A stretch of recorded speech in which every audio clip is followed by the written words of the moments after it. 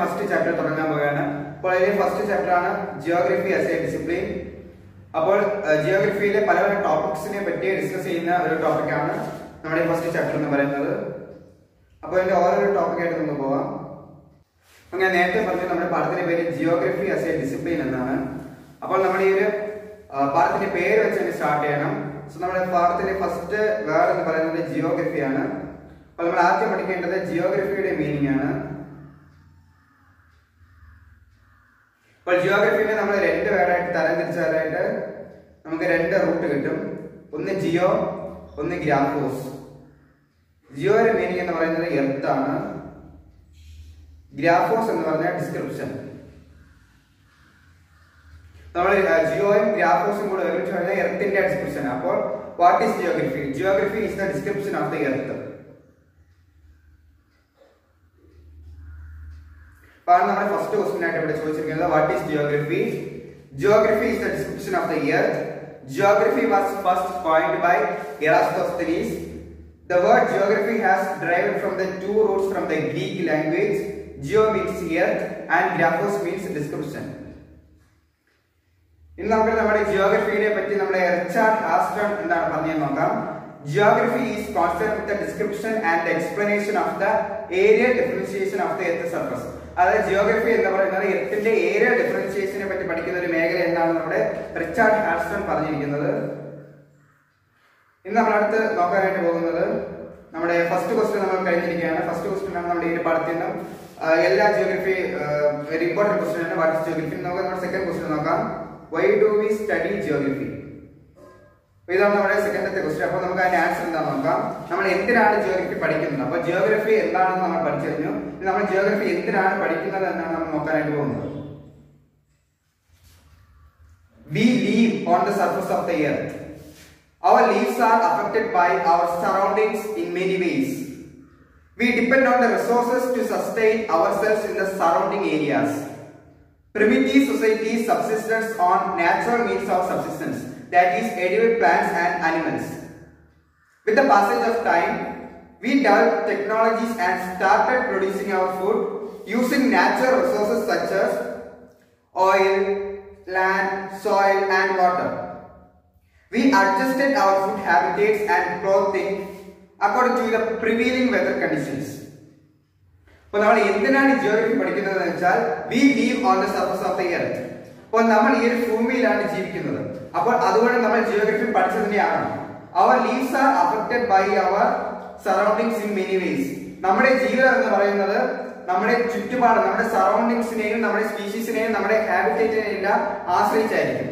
We depend on resources to sustain ourselves in the surrounding areas ഭൂമിയിലുള്ള എല്ലാ റിസോഴ്സും കൊണ്ടാണ് മനുഷ്യൻ ജീവിക്കുന്നത്.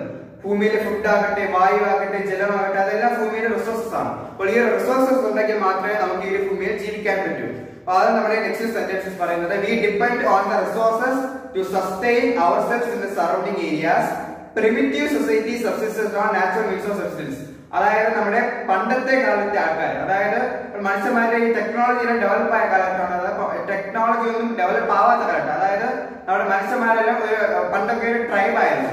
അപ്പൊ ട്രൈബ് ആയിരുന്നു നമ്മളെല്ലാം കാട്ടിലായിരുന്നു അപ്പൊ നമ്മളെല്ലാവരും കാട്ടിലാണ് ജീവിച്ചിരുന്നത്. അപ്പൊ നമ്മൾ കാട്ടിൽ ജീവിച്ചിരുന്നപ്പോൾ എല്ലാം വെട്ടി നമ്മൾ കാട്ടിൽ തന്നെയാണ് ജീവിച്ചിരുന്നത്. ഹണ്ട് ചെയ്തും മൃഗങ്ങളെ വേട്ടയായിട്ടും എല്ലാം മനുഷ്യർ ജീവിച്ചിരുന്നു. പക്ഷെ അങ്ങനെ ടെക്നോളജി കൂടി കൂടി കൂടി വന്നപ്പോൾ നമ്മുടെ ഇപ്പോഴത്തെ ടെക്നോളജി നല്ലോണം ഡെവലപ്പ് ആയിരിക്കുകയാണ്. അതാണ് നമ്മുടെ നെക്സ്റ്റ് സെന്റൻസിൽ പറയുന്നത്. Primitive society subsistent on natural means of subsistence that is edible plants and animals with the passage of time സമയം പോയപ്പോൾ we technologies and and producing our natural resources such as land, soil and water. നമ്മൾ ഒരു കാലഘട്ടത്ത് പ്രകൃതിയെ നമ്മൾ ആശ്രയിച്ചിരുന്നു. ഇപ്പോൾ പ്രകൃതി നമ്മളെ ആശ്രയിക്കുകയാണെന്നാണ് ഈ സെന്റൻസിൽ പറയുന്നത്. എന്താണെന്ന് വെച്ചാൽ natural resources land soil and water നമ്മുടെ പ്രകൃതിയിൽ നിന്നും ലഭിക്കുന്ന നാച്ചുറൽ ലാൻഡും സോയിൽ ഉപയോഗിച്ചുകൊണ്ട് നമ്മൾ കൃഷി ചെയ്യാനായിട്ട് തുടങ്ങിയെന്നാണ് നമ്മുടെ അടുത്ത സെന്റൻസിൽ പറയുന്നത്. We adjusted food habitats clothing according to the prevailing weather conditions അത് നമ്മുടെ ഭൂമിയിലെ നോക്കിക്കഴിഞ്ഞാൽ ഭൂമിയിലെ പല പല സ്ഥലത്ത് പല പല ക്ലൈമറ്റിക്കും വെതർ കണ്ടീഷൻസ് ആയിരിക്കും. അപ്പോൾ നമ്മൾ ഇവിടെ ഷർട്ടാണ് ഇട്ടിട്ടിരിക്കുന്നത്. നമ്മുടെ പോളാർ റീജിയൻ നമ്മുടെ കാശ്മീർ റീജിയൻ പോലുള്ള സ്ഥലത്ത് നല്ല കോൾഡ് ആയിരിക്കും. അവിടുത്തെ ക്ലൈമറ്റ് ചേഞ്ച് ആണ്. അപ്പോൾ അവിടെ ക്ലൈമറ്റ് ചേഞ്ച് ആകുമ്പോൾ അവരെ സ്വെറ്റർ ഒക്കെ ഇട്ടുകൊണ്ടിരിക്കുന്നത് അപ്പൊ അതാണ് നമ്മുടെ ലാസ്റ്റ് സെന്റൻസ് പറയുന്നത്. We adjusted our food habitats and clothing according to the prevailing weather conditions ഇനി നമ്മൾ ബ്രാഞ്ചസ് ഓഫ് ജിയോഗ്രഫിയെ പറ്റി പഠിക്കുകയാണ്. അപ്പോൾ ജിയോഗ്രഫിയെ നമ്മൾ ബ്രാഞ്ച് ആയിട്ട് തരംതിരിക്കുകയാണെങ്കിൽ നമുക്ക് ജിയോഗ്രഫിന്റെ മൂന്ന് ബ്രാഞ്ച് ആയിട്ട് തരംതിരിക്കാം. അതിന് ഫസ്റ്റ് ബ്രാഞ്ച് എന്ന് പറയുന്നതാണ് ഫിസിക്കൽ ജിയോഗ്രഫി രണ്ടാമത്തെ ജിയോഗ്രഫിയാണ് നമ്മുടെ ഹ്യൂമൻ ജിയോഗ്രഫി പിന്നെ മൂന്നാമത്തേതാണ് നമ്മുടെ ബയോ ജിയോഗ്രഫി അപ്പോൾ ഈ ഒരു പാഠത്തിലെ ഏറ്റവും വലിയ ഇമ്പോർട്ടന്റ് ക്വസ്റ്റ്യൻ ആയിട്ടാണ് ഫൈവ് മാർക്ക് ക്വസ്റ്റ്യൻ ആയിട്ട് നിങ്ങൾക്ക് വരുന്നതാണ്. Branches of geography based on systematic approach systematic approach വെച്ച് നമുക്ക് എങ്ങനെ ജിയോഗ്രഫിയെ തരംതിരിക്കാമെന്ന് നോക്കാം. അപ്പോൾ ഫിസിക്കൽ ജിയോഗ്രഫി ആണ് നമ്മൾ ഫസ്റ്റ് ഫിസിക്കൽ ജിയോഗ്രഫി നമ്മൾ നാലായിട്ട് തരംതിരിച്ച് പഠിക്കാറുണ്ട്. ആ നാല് ബ്രാഞ്ചസ് ആണ് geomorphology climatology hydrology soil geography ആദ്യം നമുക്ക് ജിയോ മോർഫോളജി എന്ന് നോക്കാം. Geomorphology is devoted to the study of land forms their evolution and related processes land ഫോംസിനെ പറ്റി പഠിക്കുന്ന ശാസ്ത്ര മേഖലയാണ് നമ്മൾ ജിയോ മോർഫോളജി എന്ന് പറയുന്നത്. ആൻഡ് ക്ലൈമറ്റോളജി ക്ലൈമറ്റോളജി പേര് കേൾക്കുമ്പോൾ തന്നെ നിനക്കറിയാം. ക്ലൈമറ്റോളജി എന്ന് വെച്ചാൽ നമ്മൾ ക്ലൈമറ്റിനെ ക്ലൈമറ്റിനെ പറ്റി പഠിക്കുന്ന ശാസ്ത്ര മേഖലയാണ് climatology Climatology encompasses the study of structure of atmosphere and elements of the weather and climate and climatic types and regions. ഇനി അടുത്താണ് ഹൈഡ്രോളജി നിങ്ങൾക്ക് അറിയാം വെള്ളത്തിനെ പറ്റി പഠിക്കുന്ന ശാസ്ത്ര മേഖല- മേഖലയാണ് hydrology hydrology studies the realm of water over the surface of the earth including oceans lakes rivers and other water bodies and its effect on different life forms including human life their effect and activities. ഈ soil geography നമ്മൾ മണ്ണിനെയും മണലിനെയും പറ്റി പഠിക്കുന്ന ശാസ്ത്ര മേഖലയാണ് soil geography soil geography is devoted to the study of process of soil formation soil types their fertility status distribution and use അടുത്ത നമ്മൾ പഠിക്കുന്ന ശാസ്ത്ര മേഖലയാണ് ഹ്യൂമൻ ജിയോഗ്രഫി രണ്ടാമത്തെ ബ്രാഞ്ച് ആണ്. അപ്പോൾ ഈ രണ്ടാമത്തെ ബ്രാഞ്ചിനെയും നമ്മൾ അഞ്ചായിട്ടാണ് തരംതിരിച്ചിരിക്കുന്നത്. അതെന്തൊക്കെയാണ് നമുക്ക് നോക്കാം. ഫസ്റ്റ് എത്രയാണ് സോഷ്യൽ ഓർ കൾച്ചറൽ ജിയോഗ്രഫി അപ്പോൾ അതിൽ നമ്മൾ പഠിക്കുന്നത് social cultural geography encompasses study of society സൊസൈറ്റിയെ പറ്റി പഠിക്കുന്ന ശാസ്ത്ര മേഖലയാണ് social cultural geography social cultural geography encompasses study of society and it spatial dynamics as well as the cultural elements contributed by the society രണ്ടാമത്തേത് population geography population and settlement geography rural ഉണ്ട് urban ഉണ്ട്. It studies population growth, distribution density sex ratio migration and occupational structure etc. Settlement geography studies the characteristic of rural and urban settlement നമ്മളെ rural സെറ്റിൽമെന്റിനെയും urban സെറ്റിൽമെന്റിനെയും തരംതിരിച്ച് പഠിക്കുന്ന ഒരു ശാസ്ത്ര മേഖലയാണ് സെറ്റിൽമെന്റ് ജിയോഗ്രഫി എന്ന് പറയുന്നത്. അടുത്താണ് നമ്മുടെ എക്കണോമിക് ജിയോഗ്രഫി അപ്പോൾ നിങ്ങൾക്കറിയാം നമ്മുടെ ടെറിസറി സെക്ടറുമായിട്ട് ബന്ധപ്പെട്ട് വരുന്ന ജിയോഗ്രഫിയാണ് നമ്മുടെ എക്കണോമിക് ജിയോഗ്രഫി എന്ന് പറയുന്നത്. അപ്പോൾ economic geography studies the economic activities of the people including agriculture നിങ്ങൾക്കറിയാം എന്താണ് നമ്മുടെ എക്കണോമിക്സ് വരുന്നത്? Agriculture industry tourism trade transport infrastructure services etcetera അടുത്താണ് നമ്മുടെ ഹിസ്റ്റോറിക്കൽ ജിയോഗ്രഫി ഹിസ്റ്ററിയെ പറ്റി പഠിക്കുന്ന ഒരു ശാസ്ത്ര മേഖലയാണ് നമ്മുടെ ഹിസ്റ്റോറിക്കൽ ജിയോഗ്രഫി അതായത് നമ്മുടെ ഹിസ്റ്ററി പരമായിട്ട് നമ്മുടെ ജിയോഗ്രഫി പരമായിട്ട് നമ്മുടെ ഹിസ്റ്ററിയെ എങ്ങനെ ആശ്രയിക്കുന്നതാണ് നമ്മുടെ ഹിസ്റ്റോറിക്കൽ ജിയോഗ്രഫി പറയുന്നത്. Historical geography studies historical process through which the space gets organized. Every region has undergone some historical experiences before attaining the present day status. The geographical features also experiences temporal changes and these forms the concern of historical geography. അടുത്തതാണ് നമ്മുടെ political geography നിങ്ങൾക്കറിയാം Political geography looks at the space from the angle of the political events and studies boundaries, Space relations between neighboring political units, delimitation of the constituencies, election scenario and develops theoretical framework to understand the political behavior of the people. അപ്പോൾ നമ്മൾ രണ്ട് ജിയോഗ്രഫിയും നമ്മൾ complete ആയിട്ടുണ്ട് physical ജിയോഗ്രഫിയും complete ആയിട്ടുണ്ട് human ജിയോഗ്രഫിയും complete ആയിട്ടുണ്ട് നമുക്ക് തേർഡ് ഇമ്പോർട്ടന്റ് ആണ് പക്ഷെ അത് പഠിക്കാൻ നിങ്ങൾക്ക് എളുപ്പമാണ് ബയോ ജിയോഗ്രഫി കാരണം ബയോളജിയെ പറ്റി പഠിക്കുന്ന ഒരു ശാസ്ത്ര മേഖലയാണ് നമ്മുടെ ബയോ ജിയോഗ്രഫി അപ്പോൾ നമുക്ക് അതിലൊക്കെ നമുക്ക് എന്തൊക്കെ ശാസ്ത്ര മേഖല വരുന്നെന്ന് നോക്കാം. The interface of uh, the interface between the physical geography and human geography has led to the development of the geography അപ്പോൾ ബയോ ബയോജിയോഗ്രഫി നമുക്ക് നാലായിട്ട് തരംതിരിക്കാം. Plant geography zoo geography ecology എൻവയോൺമെന്റൽ geography plant geography പേര് കേട്ടാൽ തന്നെ അറിയാം നമുക്ക് ചെടികളെ പറ്റി പഠിക്കുന്ന ജിയോഗ്രഫിയാണ് പ്ലാന്റ് ജിയോഗ്രഫി പിന്നെ സൂ ജിയോഗ്രഫി സൂ എന്ന് വെച്ചാൽ നമ്മുടെ ആനിമൽസ് നമ്മുടെ ആനിമൽസിനെ പറ്റി പഠിക്കുന്ന ആനിമൽസും ആനിമൽസിന്റെ സ്പീഷീസും അതിന്റെ ഹാബിറ്റേറ്റിനെ പറ്റി പഠിക്കുന്ന ജിയോഗ്രഫിയാണ് നമ്മുടെ സൂ ജിയോഗ്രഫി അടുത്ത എക്കോളജി അതായത് നമ്മുടെ ഹാബിറ്റേറ്റിനെയും സ്പീഷീസിനെയും നമ്മുടെ എൻവയോൺമെന്റൽ എക്കോളജി എക്കോ പരമായി നമ്മുടെ സറൗണ്ടിങ്സിനെ പറ്റി പഠിക്കുന്ന ആ ഒരു ശാസ്ത്ര മേഖലയാണ് എക്കോളജി അല്ലെങ്കിൽ എക്കോ സിസ്റ്റം എന്നൊക്കെ പറയുന്നത് ആ ജിയോഗ്രഫി സ്റ്റഡി മേഖല അടുത്താണ് നമ്മുടെ എൻവയോൺമെന്റൽ ജിയോഗ്രഫി അപ്പൊ നമ്മുടെ ഈ എൻവയോൺമെന്റിൽ ഉണ്ടാകുന്ന പൊല്യൂഷൻസ് പ്രോബ്ലംസ് നമുക്കറിയാം. ഭൂമി ഉൽക്കം അങ്ങനെ പല പല പ്രകൃതി ദുരന്തങ്ങൾ ഉണ്ടാവാറുണ്ട്. പ്രകൃതി ദുരന്തങ്ങളെ മാത്രം എടുത്തു പഠിക്കുന്ന നമ്മുടെ ജിയോഗ്രഫി ബ്രാഞ്ചിനെയാണ് നമ്മൾ എൻവിറോൺമെന്റൽ ജിയോഗ്രഫി എന്ന് പറയുന്നത്. അപ്പോൾ അതിന്റെ ഡീറ്റെയിൽസ് നിങ്ങളുടെ ടെസ്റ്റിൽ ഇങ്ങനെ കൊടുത്തിരിക്കുന്നത്.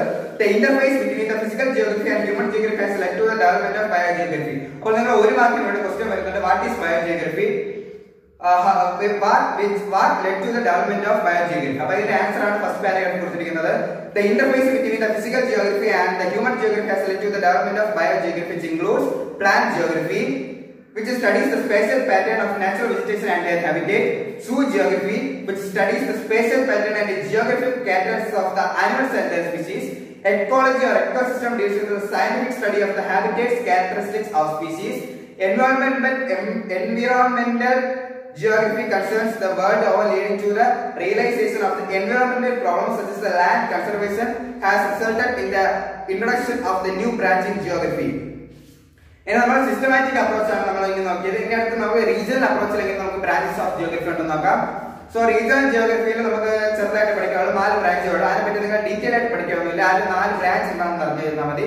ഒന്നാമതാണ് regional studies or areal studies comprising macro meso micro regional studies അതായത് മാക്രോ പരമായിട്ട് വലിയ പരമായിട്ട് നമ്മുടെ എർത്തിനെ നമ്മൾ പുറത്ത് നിന്ന് നോക്കുമ്പോൾ എർത്ത് ഒരു ഗ്ലോബ് ആയിരിക്കും. അതായത് ഒരു ഗ്ലോബിനെ പോലെ സ്പിരിക്കൽ ഷേപ്പ് ആയിരിക്കും. പിന്നെ നമ്മൾ അതിന്റെ അകത്ത് കയറി നോക്കുമ്പോഴായിരിക്കും നമ്മുടെ എർത്ത് നല്ല വലുത വലുതായി ഇങ്ങനെ നമുക്ക് വരുന്നതായിട്ട് കാണാൻ സാധിക്കും. നമ്മൾ ഗൂഗിൾ മാപ്പിൽ നമ്മൾ മാപ്പ് സൂം ചെയ്ത് നോക്കുമ്പോൾ അറിയാനായിട്ട് സാധിക്കും. ആദ്യം നമ്മുടെ എർത്ത് പോലെ പിന്നീട് നമ്മൾ മാപ്പ് സൂം ചെയ്ത് സൂം ചെയ്ത് വരുമ്പോൾ ആ മാപ്പ് നമുക്ക് വലുതായി വലുതായി പോകുന്നത് കാണാൻ സാധിക്കും. അതാണ് region studies or area studies comparison macro micro region studies അടുത്ത region planning comparison country rural town urban അതായത് നമ്മൾ ഈ മാപ്പ് നമ്മൾ റൂറൽ ടൗൺ ഒക്കെ നമ്മൾ നോക്കുള്ളൂ അതാണ് അടുത്ത റീജിയൻ ഡെവലപ്മെന്റ് നാലാമത്തെ റീജിയൻ അനാലിസിസ് അത്രേ ഉള്ളൂ ആഹ് അതിൽ നമുക്ക് വരുന്നതാണ് there are two axes of everything which is common to every discipline these are philosophy geography thoughts and and human interaction human ecology methods and techniques cartography includes computer cartography cartography എന്ന് പറയുന്നത് മാപ്പ് ഉണ്ടാക്കുന്ന വ്യക്തികളെയാണ് നമ്മൾ cartographer അല്ലെങ്കിൽ cartography is the branch study studies maps അവരുടെ methods and techniques cartography ഞാൻ പറഞ്ഞു കഴിഞ്ഞു. അടുത്തത്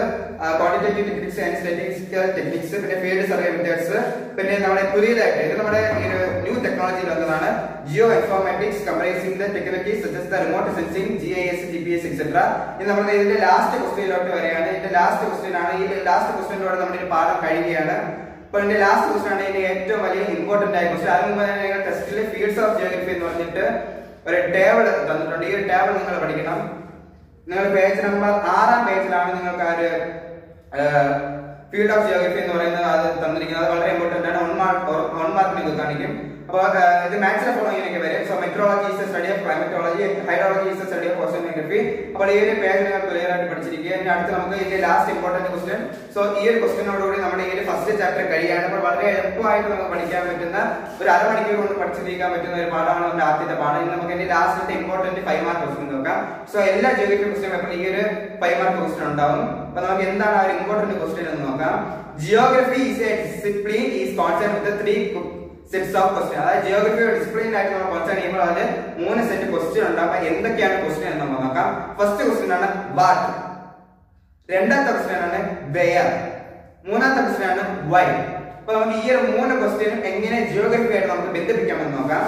First question some questions are related to the identification of the patterns of natural and cultural vegetation as found over the surface of the earth.